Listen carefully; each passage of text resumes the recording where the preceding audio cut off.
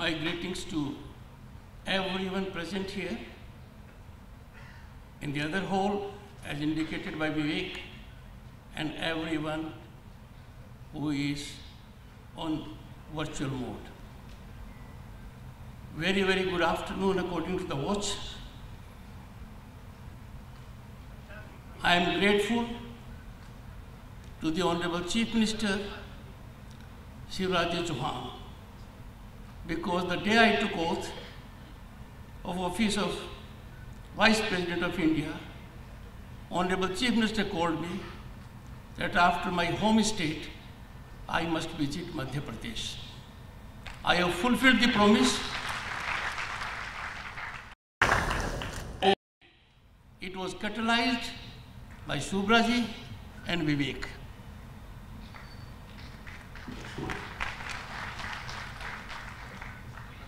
Honorable Governor of Madhya Pradesh, Sri Mangu Bhai Patel ji, Honorable Chief Minister of Madhya Pradesh, Shivraj Singh Ji Chauhan, Honorable Justice Sanjay Kishan Kaul, Judge of the Supreme Court, Honorable Justice J.K. Maheshwari ji, Judge Supreme Court, Honorable Justice Ravi Malimath, Chief Justice of Madhya Pradesh High Court,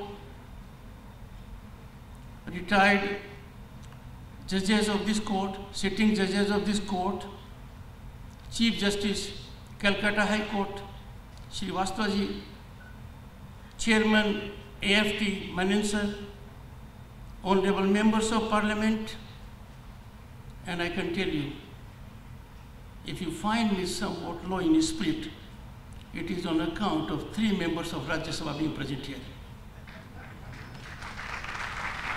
Vivek, Rajiv Shukla, and Kartikeya Sharma.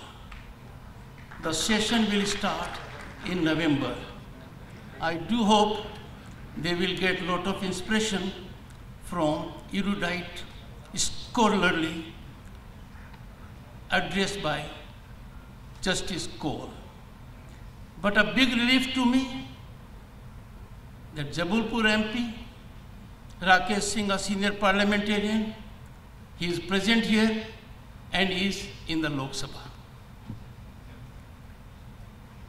Vivek Chaudhary ji, Chairman Bar Council, members of the Bar Council, senior advocates, members of the bar,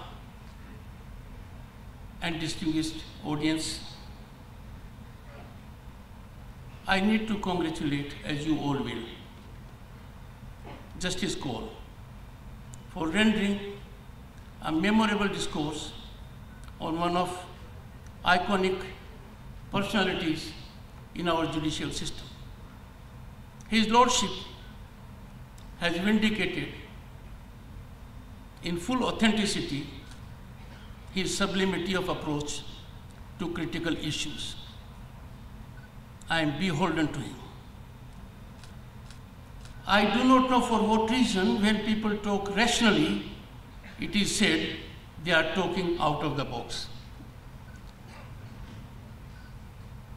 I strongly support his thought process. His thought process emanates out of firm conviction and a great rationale. And this for me is take home from this very important occasion. His Lordship has traversed all facets pertaining to late Justice J.S. Verma. And I would not take your time on that. For two reasons. One, making a demand on your time is unreasonable. And secondly, I will not be able to measure up to his level. I'm extremely humbled at this opportunity and the kind words that have been said about me. I'm grateful. My wife is not here. And my son-in-law and daughter made their absence to see I'm comfortable. But they would not agree. I would indicate some facets of Justice Verma for the reason that while he was Chief Justice of Rajasthan High Court from 86 to 89, I happened to be very young president of the bar, around, 80, around 36, and I was in the bar council. And the relationship between the bar and the Chief Justice is not always very congenial, sir, for a variety of reasons. Because a very rational approach of judges normally does not go down well with the bar. And the Honorable Chief Justice here has agreed, which is a, a very healthy, wholesome endorsement and energizing me. But I can tell you, that was the most difficult period of Rajasthan High Court. And Justice Verma enforced sublimity, transparency, and accountability. His Lordship found a way out that original petitions will be handled by two judges. Something that was criticized, but within their hearts, every lawyer agreed that was the only solution at that point of time. For another good reason, I am beholden to late Justice J.S. Verma. I was arguing a case before him challenging Section 32 of the Evidence Act, that it is in violation, gross violation of Article 21.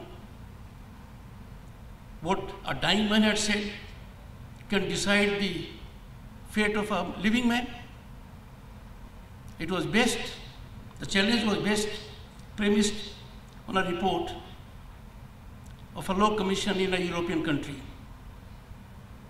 I was young, perhaps he was impressed, and in open court he said, would you like to be senior? And the bench was Sir Justice Verma, Justice Kasliwal, Justice Suresh Agrawal, all came to the Supreme Court.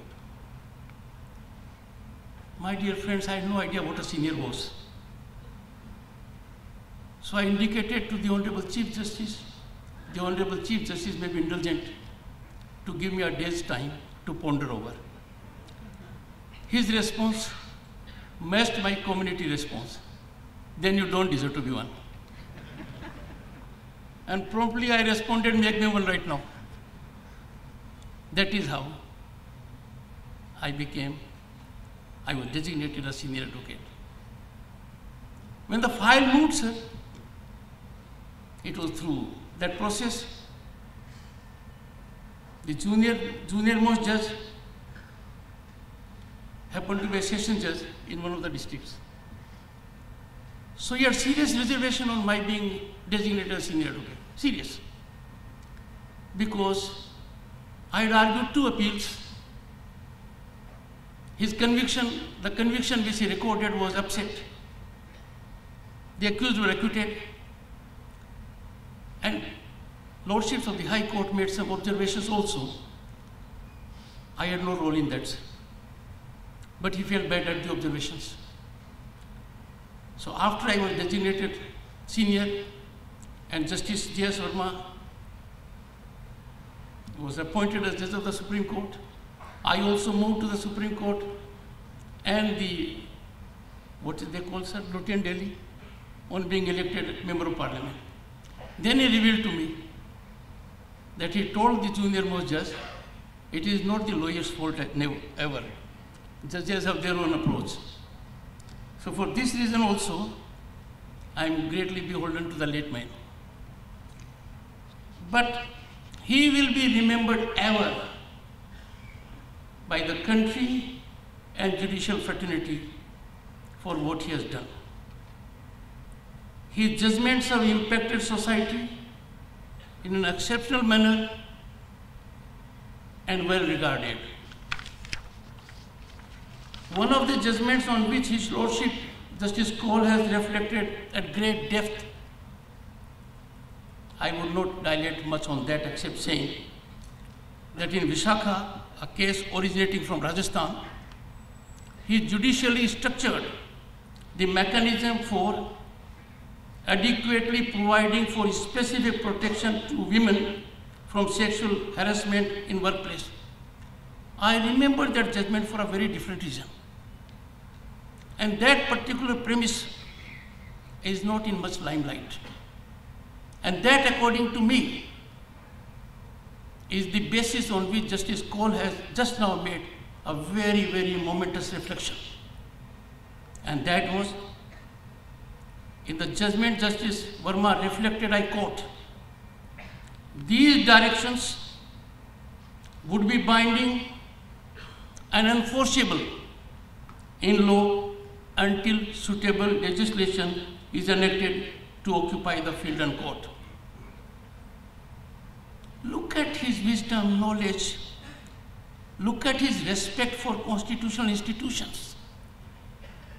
He yielded to the expedient situation, found a solution and resolution through a judicial order, but did not permit the order to graduate to an incursion in the domain of legislature that alone has competence to frame law. This is an instance of scrupulous adherence to doctrine of separation of powers, which I can say contemporaneously is under some strain. Our Shastras say, Dharmo Rakshati Rakshita. The law protects us if we preserve its sanctity. I find this nectar of democracy. I find it non compromising. There is no way out except to adhere to it. Presently, we need to revisit the situation to see that this wholesome principle is practiced by all. Adherence to constitutional prescriptions by all institutions is not optional. If democracy has to function, constitution has to function, all institutions under the constitution are required to keep within their bounds. Democracy can be best nurtured. It can blossom. It can impart, impart healthy impact societally and for welfare of the people. Constitutional institutions are in sync with each other, they confine their actions to the limits set by the Constitution and to serve the larger public interest, they are in sync with each other. Sir, I would indicate any transgression by any constitutional institution, howsoever refined, howsoever subtle, howsoever non-invasive, creates a ripple that becomes unfortunately a tsunami. We have seen recently innocent observation of the court. And mind you, courts, judges sit from 10.30 to 4 o'clock. An observation, which is no more than a small ripple, is put in high decibel by media and creating all kinds of situations that certainly can't be called as wholesome. I would therefore strongly urge and appeal the time now has come when a fresh look be taken so that all institutions, legislature, executive, and judiciary,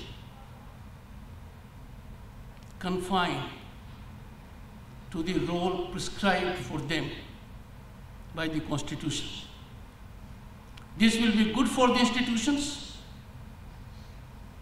This will be good for the country.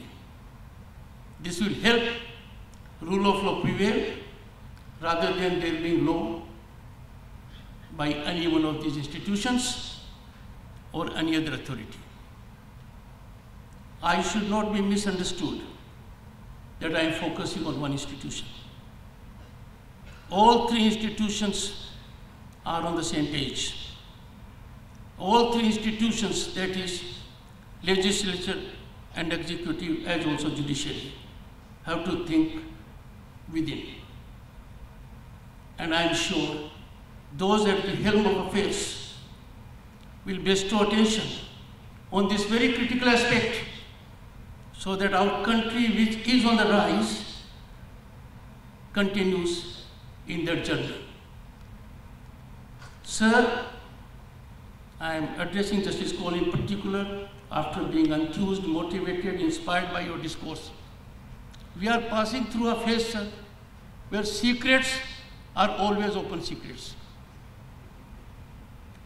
A secret in the executive at any level, a secret in the judiciary at any level, a secret in another format is an open secret.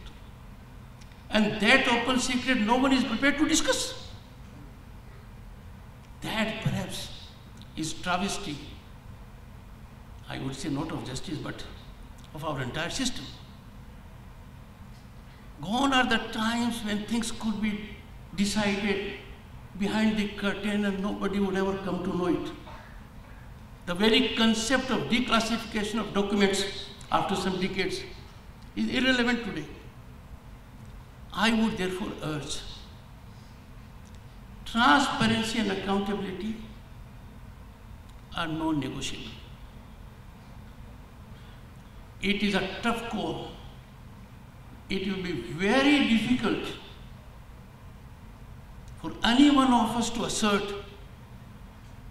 there is adherence to this sublime, non-negotiable principled stand in higher echelons of authority and power. I recall I had a chance meeting with a celebrated judge of the US Supreme Court, who is no more, Justice Scalia, and had the occasion to go through one of his addresses in a university. And he was reflecting on power of judicial review. And he was reflecting that European courts have no idea the power of judicial review the American Supreme Court enjoys. I made an observation, sir. I'm picking up courage from your address. He was not aware about Indian Supreme Court. We have enormous power of judicial review.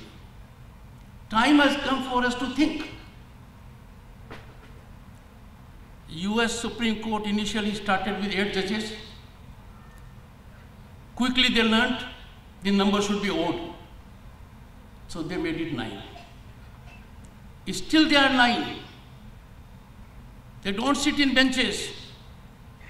They sit as one court. And they are happy with the number.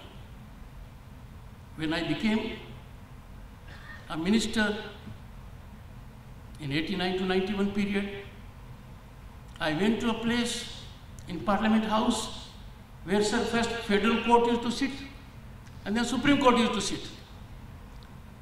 So I directed someone, let me know how could you accommodate the litigants and lawyers in this small room? Because in Supreme Court we now see we, are, we hardly have any space in the corridor and my lords roster would indicate what happens. And I was amazed to learn. There were eight judges initially, sir. They used to sit twice a day, twice, twice a week, and for half day. And if we come across some of eight judge bench decisions, it is during that period. Now, the thought process which has been slightly hinted by Justice Kaul, very slightly, in a subtle manner, needs to be taken further. At independence, we were 36 crore, now we are 136. I strongly believe, I strongly believe a tribute to democratic essence and requirement that will of the people expressed through their representatives, that is the parliament, must occupy primacy. A legislation that emanates, the role is not confined only to members of parliament. They are representatives. I would not at this moment venture into another area that very distinguished members of the Constituent Assembly debated and deliberated all aspects of constitution. But the composition of the Constituent Assembly may have to be gone into. But I, I have no doubt I can say so. Presently, our parliament is far more representative than at any time in its history. People are participating vigorously in the election process.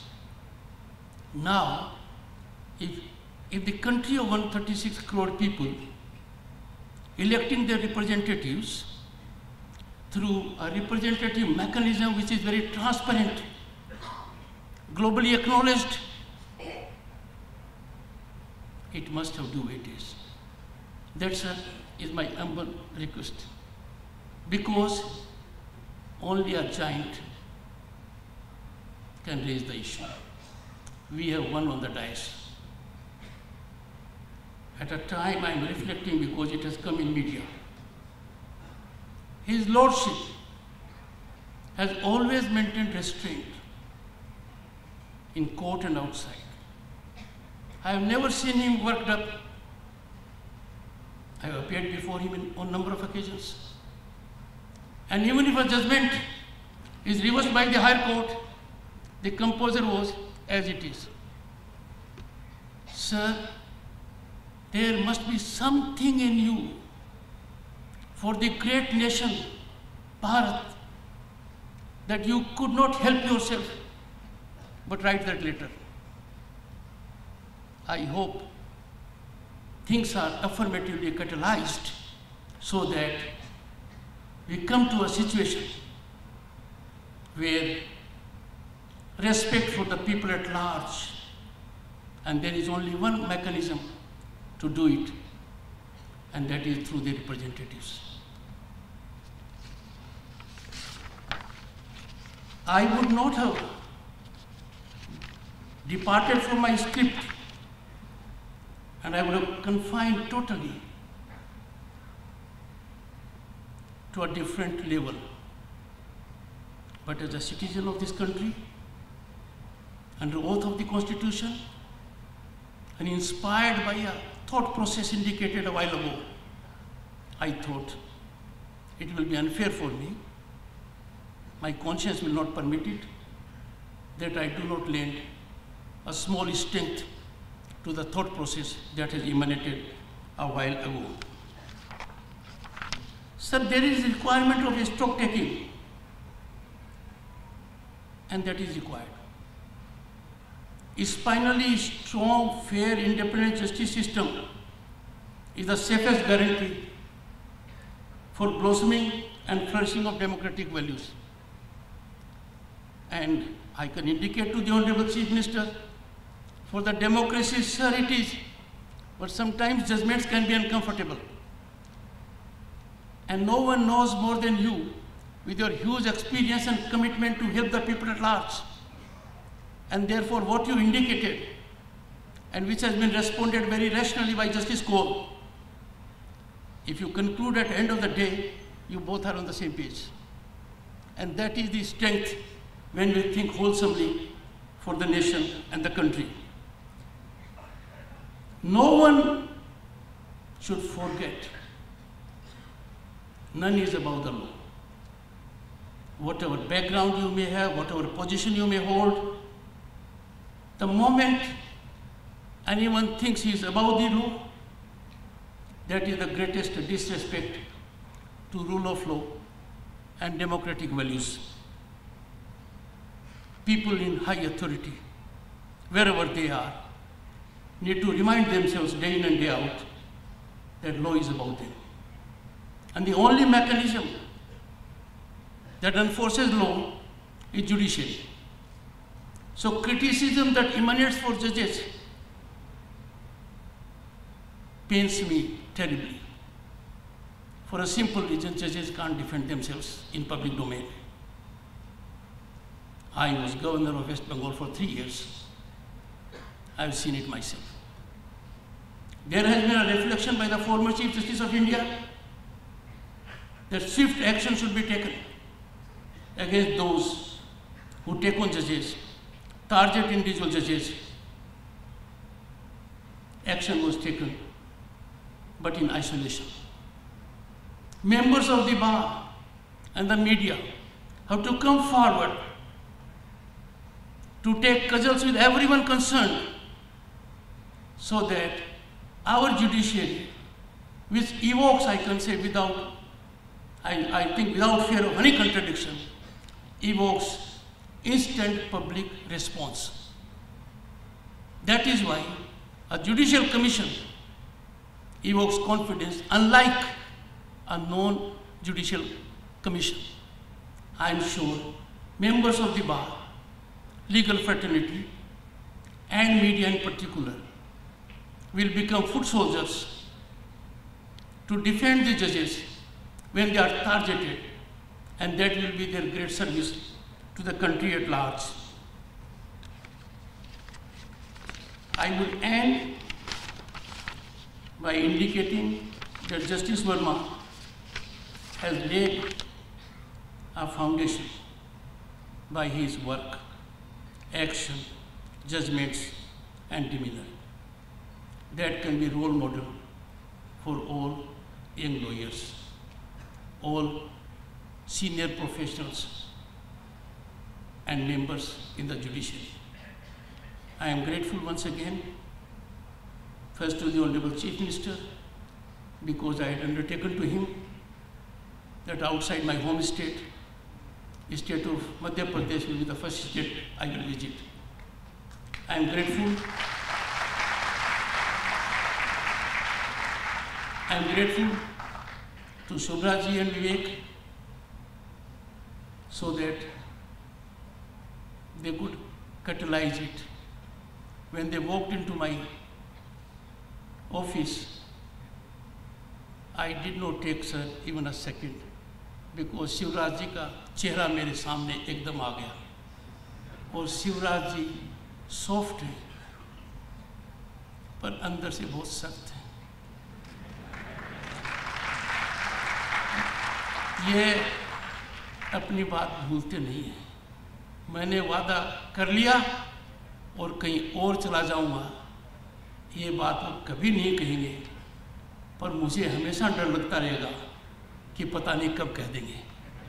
तो ये मौका शुभरा जी और विवेक ने आपसे छीन लिया है। I am sure Vivek will be fair to you in future.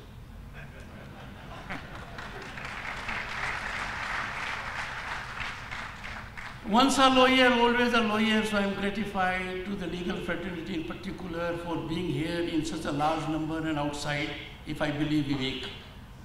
Because uh, Vivek has high credibility except that he is a member of Rajya Sabha. So that he along with uh, Kartikeya and uh, Rajiv Shukla will have to demonstrate and I will report to the people on the dais any transgressions taking place. Thank you so much. I'm grateful. Thank you.